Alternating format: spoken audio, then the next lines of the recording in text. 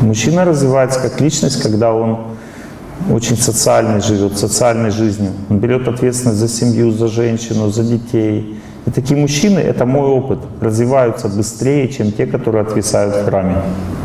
Они становятся более зрелыми, более разумными, более развитыми, чем те, которые в облаках летают там где-то. Они так в облаках потом всю жизнь не летают. Один такой человек подошел ко мне, он занимался 30 лет духовной практикой и сказал, ему было 50 лет, а мне тогда было 30. И он пришел ко мне на консультацию, мне было 35. Пришел ко мне на консультацию, ему 50 лет, он старше для меня. Я духовной практикой занимался не так много еще тогда. Он начал плакать, говорит, я разрушил всю свою жизнь. Я, говорит, занимался только отречением, все прочее. Я теперь понимаю, что мне нужна семья, нужна жена.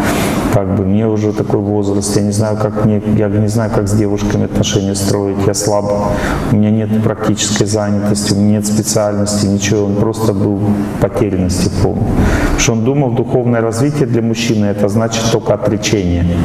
А духовное развитие для мужчины это значит молитва плюс социализация, то есть быть социально сильным, брать на себя проекты, дела, ответственность. Никогда не уходить из социума. Если вы его оставили где-то там, то вы тоже, это тоже отвисание, это как наркотик уже для мужчин, только наркотик в виде храма.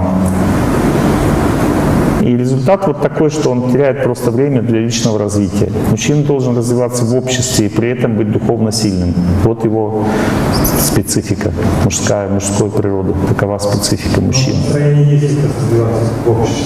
Собственно говоря, на все 19, все проекты на Все отлично, да, тогда все хорошо. Надо практика найти себе. Не надо дальше проекты идти, надо идти в отношения, учиться создавать команду, найти человека, который бы вас сдерживал, трез- отрезвлял, говорил, что это достижимо, это нет. Ну, то есть человека такого другого, противоположного темперамента вам надо найти. Спасибо. Спасибо. Дорожить этими отношениями.